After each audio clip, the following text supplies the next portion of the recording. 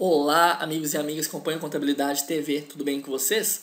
Hoje vamos resolver outra questão do exame de suficiência, mas antes eu peço que vocês cliquem nesse botão vermelho onde estou passando o mouse. Clique aqui e inscreva-se gratuitamente em nosso canal no YouTube. Faça com mais de 46 mil inscritos que já se inscreveram no canal, porque aqui o conhecimento contábil empresarial é grátis. Curta também a nossa página no Facebook, que é o facebook.com.br contabilidade TV. E segue aí no Instagram, arroba contabilidade TV e... Vamos ao que interessa, que é resolver a questão número 20, que caiu no segundo exame de suficiência de 2016 para bacharel. Vamos lá. Em 31 de 2 de 2015, uma sociedade empresária contratou uma empresa que presta serviços de jardinagem para efetuar a manutenção de seus jardins. O contrato firmado prevê pagamento total de 60 mil reais pela prestação de serviços de jardinagem durante o período de 1 de 1 de 2016 a 30 de 6 de 2016. A sociedade empresária pagou no ato da contratação o valor total de 60 mil reais, então pagou ali à vista. Ambas as entidades apropriam mensalmente despesas e receitas. Ambas as entidades apropriam mensalmente despesas e receitas. Presta atenção nessa afirmação também.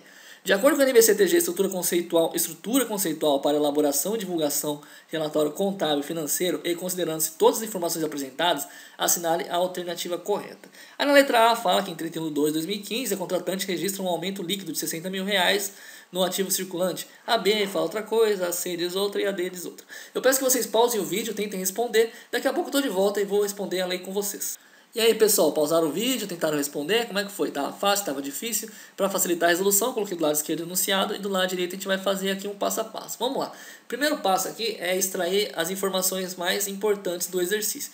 A primeira que eu extraí aqui, que eu retirei do enunciado, foi a data de 31 de 2 de 2015, que foi quando a sociedade empresária contratou né, a, o serviço aí de manutenção de jardins aí. Né? Beleza? Vamos ver aqui. Ó. Em 31 de 12 de 2015, uma sociedade empresária contratou uma empresa que presta serviço de jardinagem para efetuar a manutenção de seus jardins. Então, essa data, 31 de 12 de 2015, foi quando ela contratou.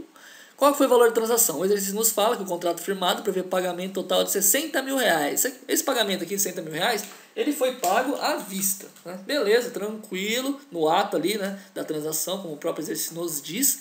E fala o que mais? Ele fala que é, ambas as entidades apropriam mensalmente despesas e receitas. Tanto a contratada, né, que é a que vai prestar serviços, como a contratante, que vai receber os serviços, elas apropriam mensalmente as suas despesas e receitas. Então não é possível apropriar 60 mil reais logo de cara. Né? Não tem como fazer isso. As despesas vão ser apropriadas mês a mês. Vamos ver então como que diz aqui a letra A? Fala que em 31 de 12 de 2015, a contratante registra um aumento líquido de 60 mil reais no ativo circulante? Não, né? Claro que não. Vamos analisar a letra B. Em 31 de 12 de 2015, a contratante registra no resultado despesas com jardinagem no valor de 60 mil reais. Aqui que está a questão principal. Não pode fazer isso, gente. Ó, vai fazer o seguinte. Apesar que você pagou à vista é, em 30 de 12 de 2015 ali, 60 mil reais, né? O exercício nos fala que ambas as entidades apropriam mensalmente despesas e receitas. Então, como que ficariam apropriadas essas despesas e receitas? Ficaria da seguinte maneira. Ó. Eu trouxe para vocês aqui um exemplo de como ficaria. Pagou ali 60 mil à vista no último dia do ano do, do mês 12 de 2015, porém, né, vai apropriar mês a mês. Então, no dia 1 de 1 de 2016, tanto é, a receita como a despesa vai ser apropriada no valor apenas de 10 mil, porque o valor total era, era 60 mil, né? Você divide por seis meses de contrato, então assim, a empresa que contratou, ela vai né, apropriar ali a despesa de 10 mil. E a empresa que foi contratada, ela vai né, apropriar ali a receita de 10 mil. Então ela não pode apropriar é, 60, nenhuma delas pode apropriar 60 mil logo de cara. É mês a mês, né? Vai apropriando ali 10 mil, 10 mil, 10 mil, até que no final chega no valor total de 60 mil. Então a letra B fala o seguinte, que em 31 de 2015 a contratante registra no resultado despesas com jardinagem no valor de 60 mil reais. Não pode, né? Não pode. Ainda mais que em 31 de 2015 nem poderia registrar despesa alguma. Ela vai começar a partir de janeiro de 2016. Então tá errada a letra B. A letra Vamos analisar agora a letra C. Em 31 de 12 de 2015, a contratada registra um aumento líquido de 60 mil reais no passivo circulante.